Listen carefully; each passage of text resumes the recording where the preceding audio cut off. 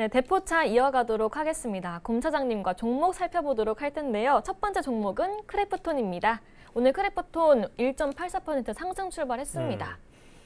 어, 제 이제 저희 정우윤 수석하고 게임주들에 대한 얘기를 많이 했는데 네. 음, 사실 섹터 애널이 자기 섹터를 그렇게 좀 안 좋게 음. 바라보는 경우는 많지는 않아요. 그리고 이제 안 좋게 바라보더라도 이제 좋은 요소들을 찾기 위해서 노력을 하고 있죠.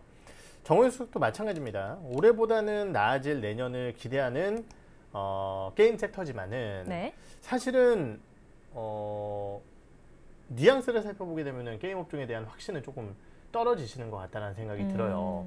그 이유가 결국은 예전과 달라진 게임에 대한 패턴이라든지 그리고 전체 시장에 대한 우려감 이러한 부분들이 있는데 그 우려감들을 모두 다 지워주는 좋은 펀더멘탈을 보인 기업이 바로 크래프톤입니다. 네. 근데 생각보다 더 좋은 것 같아요. 음. 오늘 이제 메리츠 증권의 리포트를 프리뷰 자료를 제가 들고 나왔는데요. 어제도 이제 대부분 다 얘기했던 내용입니다. 뭐 뉴진스 콜라보라든지 이런 네. 것들을 진행을 했었어요.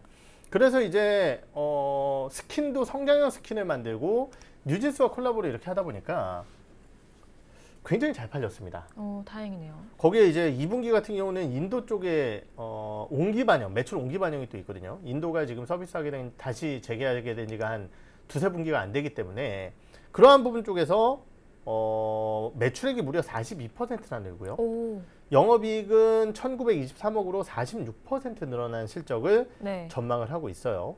어, 특히 이제 PC 쪽의 DAU가 52%나 증가를 했고요. ASP도 23%나 상승을 했습니다. 물론 이제 크래프톤이 또 이제 약간 나쁜 짓을 해서 나쁜 짓까지는 아니에요. 나쁜 짓인지 실수인지 하여튼 이제 그 아이템의 확률 이슈가 좀 있어서 네. 그거 다 환불해주고 있거든요 지금. 그래서 3분기에는 이 요소가 좀 있을 것 같지만은 재밌는 것은 워낙 글로벌 유저가 많은 회사다 보니까 네. 우리나라에선 노이즈가 굉장히 컸는데 오히려 게임 전체적으로 노이즈는 굉장히 작았어요. 어. 그래서 그 내용으로 시장에 어, 리스크 요인이다라고 반영하기에는 좀 어려울 것 같고 어, 스팀 지표라든지 이런 것들이 너무 좋다. 음. 그래서 이제 이 내용에 대해서도 어제 이제 정우윤 수석이 좀 얘기를 하셨는데 배틀그라운드가 나온 지가 거의 뭐 10년까지는 아니더라도 10년까지는 안 된 것 같은데요. 사실 굉장히 오래된 게임이에요. 네. 그러면은 배틀그라운드가 처음 나왔을 때 약간 센세이션을 했죠. 왜냐면은 이게 아마 15명인가 20명 한 맵의 입장에서 다 서로 쏴 죽이고 딱 혼자 남는 음. 게임이거든요. 지금까지의 이제 FPS 게임이라는 것은 사실 그런 것들이 아니라 어, 5대5로 싸워서 팀으로 해서 쟤네를 이제 이기는 네. 이런 게임이 많았단 말이에요. 나 빼고 모두죠. 음. 얼마나 매력적입니까? 그래서 이런 것들을 따라한 게임들이 뒤에 좀 많이 나왔어요. 그런데 네. 싹다 지금 조용해지고 네. 얘 혼자 남았습니다. 지금. 이런 것들을 생각해 봤을 때 어, 배틀그라운드, 크래프톤의 펍지 이 내용은 이제는 안정화됐다. 음. 근데 이제 문제는 하나 더 조금만 더 잘했으면 하는 게 사실 신작이에요. 그 신작이 어, 다크앤다커 모바일하고요. 다음에 이제 어, 인조이 같은 게임인데 네. 인조이 같은 경우는 지금 경쟁작이 심즈라는 개발 아, 심즈라는 게임은 여러분들 워낙 잘 아실 거예요. 네. 이 심즈 개발진이 만들어낸 라이프 바이 유라는 게임이 있었어요. 네. 이게 결국은 한다 한다 하다가 취소가 됐습니다. 취소된 이유는 뭐 돈이 없거나 아니면 뭐 음. 개발 여력이 떨어지거나 아니면은 돈이 안 된다라고 생각을 했을 수도 있겠고요. 네. 어 그래서 이제 인조이는 경쟁력이 좀 떨어져 나가다 보니까 좋을 것 같다는 생각이 들고 다크앤다커 모바일 같은 경우는 지금 베타 테스트 어, 3분기에 진행할 예정인데 어, 내년도 초에 출시를 할 것으로 아 올해 4분기에 출시할 것으로 전망이 되고 있거든요. 네. 그러면은 이제 게임스컴에 드디어 이제 8월달에 어, 공개를 하게 될 예정인데 어, 기대감이 좀 더 커지고 있고요. 특히 이제 다크앤다커 모바일 같은 경우는 원작 다크앤다커의 모바일판입니다. 근데 이 다크앤다커가 최근에 또 시장에서 네. 검색 지표라든지 이런 것들이 많이 올라오고 있다라고 해요. 음. 그러면 모바일 게임으로 전환했을 때 기대감은 유효하겠죠. 물론 이제 크래프톤이 만들어내는 이 게임들이 과금 요소가 그렇게 높은 게임은 아니기 때문에 어마어마한 실적 성장에 도움이 될지는 모르겠지만은 항상 우리가 크래프톤 얘기하면은 마이너스적인 요인으로 짚어졌었던 내용이 뭐냐면은 야 니네 게임 하나밖에 없잖아. 음. 그거 망하면 어떡할 거야. 네. 혹은 우리 인도에서 경험해 봤잖아요. 니네 그거 하나 가지고 먹고 사는데 인도가 갑자기 그 게임하는 친구가 부모님을 어, 죽여서 아, 네네. 게임을 못했단 말이에요. 네. 서비스를.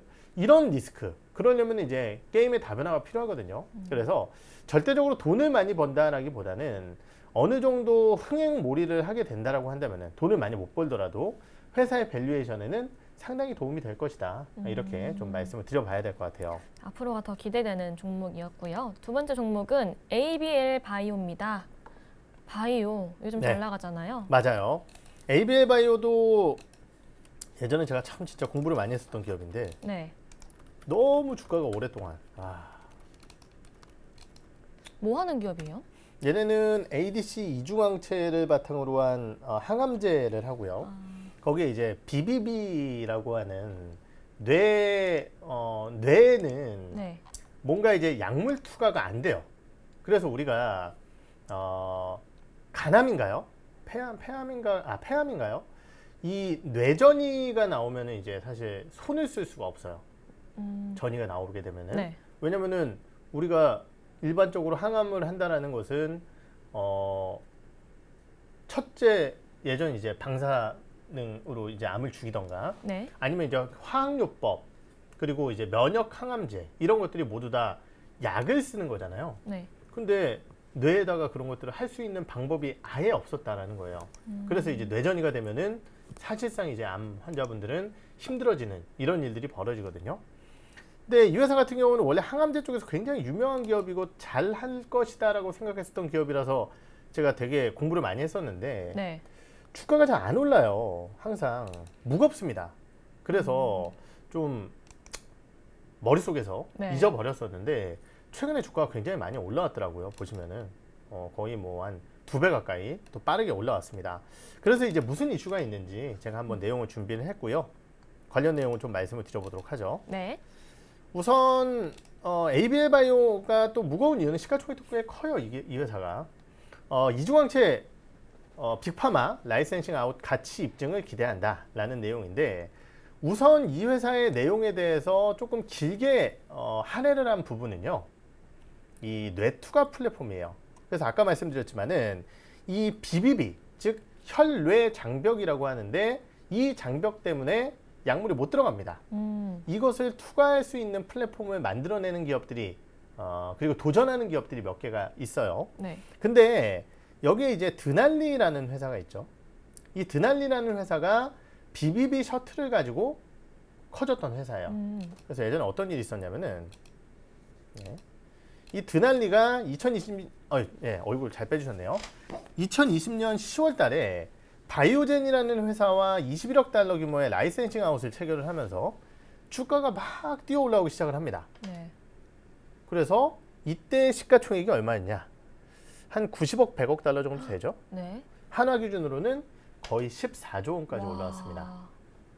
근데 성공 가능성에 의문이 나오면서 주가가 박살이 나기 시작을 해요. 미국도 똑같습니다. 바이오는 이게 참 무서운 것 네. 같아요. 이거 다섯 배 이렇게 쑥 올라왔다가 네. 순식간에 막 빠지기 시작을 해서 언제까지 빠졌냐? 그 올라간 거 다 빠졌어요. 5분의 1 토막이 났습니다. 근데 최근에 주가가 한 90% 정도 올라왔어요. 음, 왜냐면은 아까 말씀드렸던 이 사노피 계약 물질 아 이런 이슈들 때문에도 주가가 빠졌지만은 네. 최근에 어 아까 얘기했었던 이 사노피 쪽에 기술 이전 어 1.3조 원 한 이후에 네. 사실은 기대감들이 좀 반영이 되고 있다라는 거죠.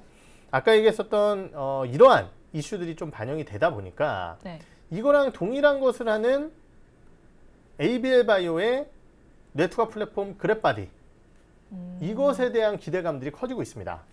뭐 그- 아직은 뭐 임상 결과가 나왔거나 이런 건 아닌 거죠. 그렇죠. 음. 아, 아니 임, 이제 임상 진행을 하고 있는 거죠. 네네. 근데 너무 초기 단계라서 아, 어, 임상 일상을 지금 하고 있는 상황이에요. 네. 그래서 이 어, ABL 바이오 같은 경우는 뇌투과 장벽 약물은 파킨슨병 치료제로 지금 진행을 하고 있습니다.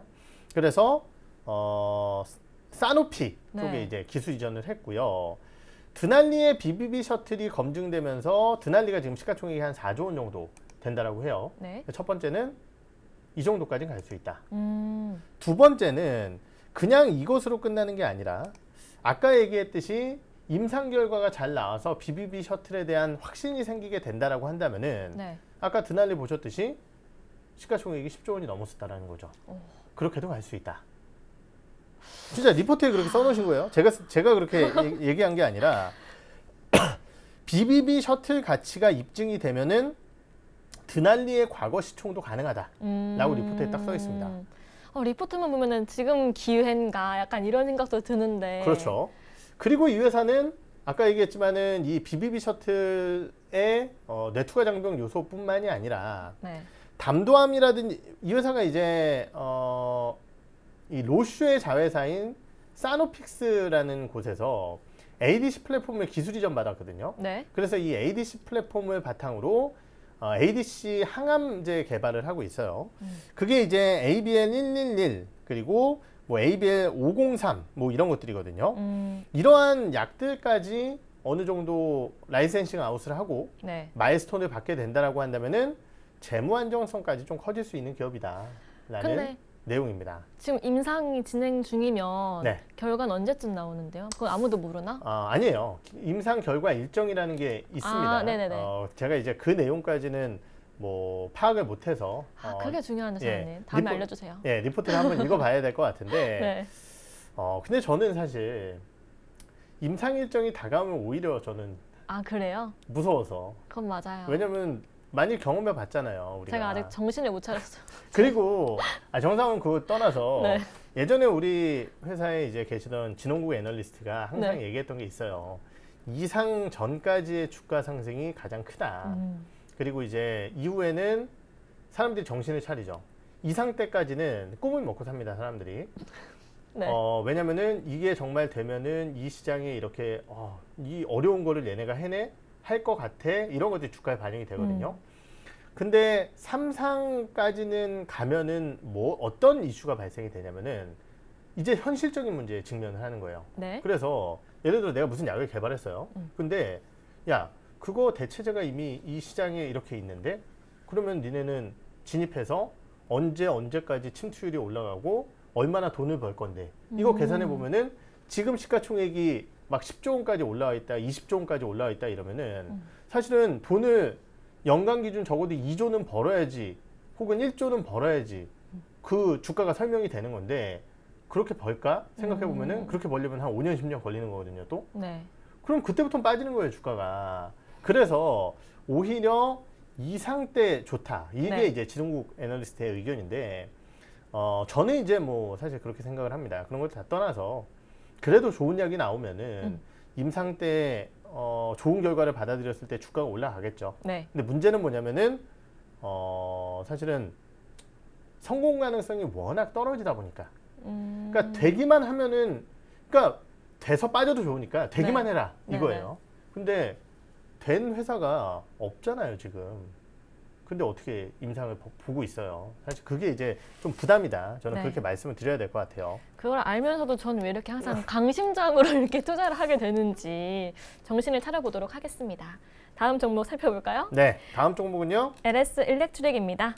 얘네도 네. 진짜 무시무시했었던 기업이죠.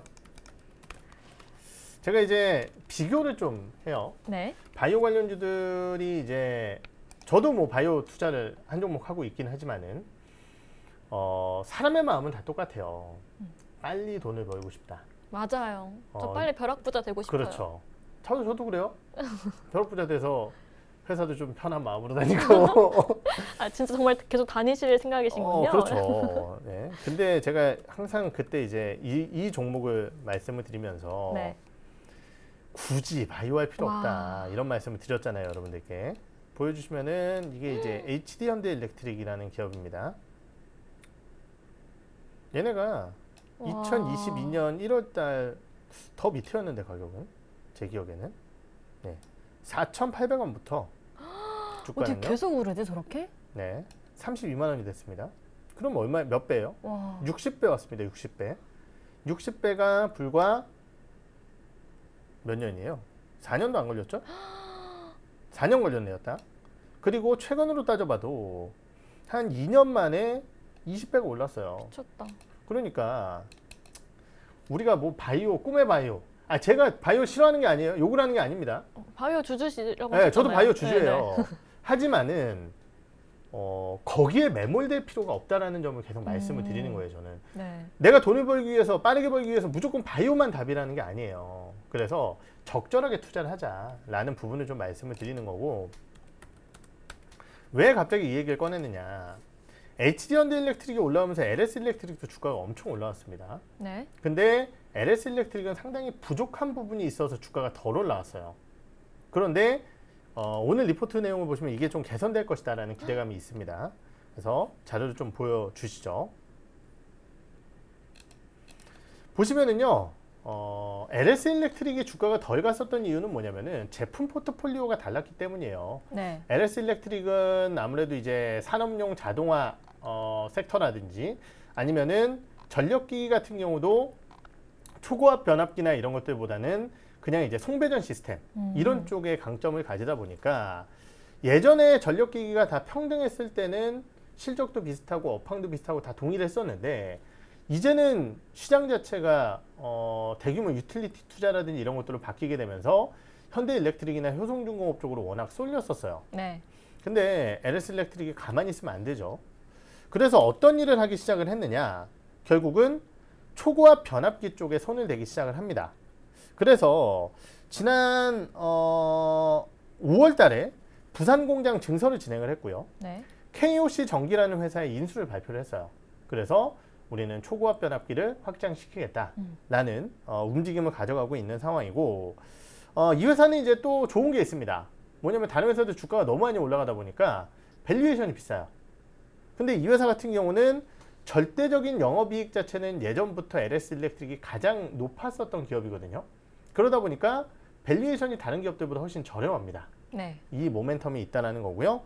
다만 이제 제가 항상 이렇게 많이 올라온 기업들은 분기 실적을 조심해야 된다는 말씀을 많이 드리게 되는데요. 2분기는 좀 쉬어간대요. 음. 그래서 분기 실적이 나올 때는 저는 LS 일렉트릭 좀 조심을 해야 된다는 입장이고요. 네. 2분기 영업이익은 844억 추정하고 있는데 이게 YOY 마이너스 20% 정도입니다. 물론 이제 시장도 이 정도로 추정하고 있어요. 네. 그런데 어, 결국은 이제 주가가 이렇게 올라온 기업이 전년 대비 역성장이야. 이거 시장이 과연 어, 좋게 받아들일까 네. 이런 생각이 들거든요. 그런 것들은 좀 조심을 하셔야 될 것 같습니다. 어, 올해 2월만 해도 6만 원대였는데 네. 지금 19만 7,100원까지 올라갔으면 정말 많이 그렇죠. 올라가긴 했네요. 네. 근데 2분기는 살짝 지켜봐야 될 것 같습니다. 그럼 여기까지 국내 종목 살펴봤고요. 해파리로 돌아올게요.